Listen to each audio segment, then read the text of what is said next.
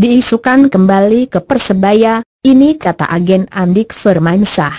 Sukses Persebaya Surabaya promosi ke Liga 1 2018 memunculkan spekulasi mereka bakal beruni dengan Andik Firmansah.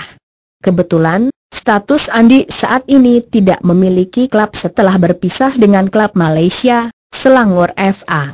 Andi Firmansah dan Persebaya memang memiliki kisah indah selama 8 tahun, Andi memulai karirnya di level junior bersama Persebaya U18 pada 2005. Terus menimba ilmu, ia pun dipromosikan ke tim utama sejak 2008. Sayang, konflik yang mendera sepak bola Indonesia membuat Andi harus mengambil keputusan sulit. Ia berpisah dengan Persebaya dan merantau ke Malaysia untuk memperkuat Selangor sejak 2014. Namun, kontrak Andi kini tak diperpanjang Selangor. Dengan status free agent, Persebaya pun berpeluang besar merekrut pemain berusia 26 tahun itu. Namun, menurut pengakuan agen Andik, Muli Munial, sampai saat ini pihak Persebaya belum menghubunginya.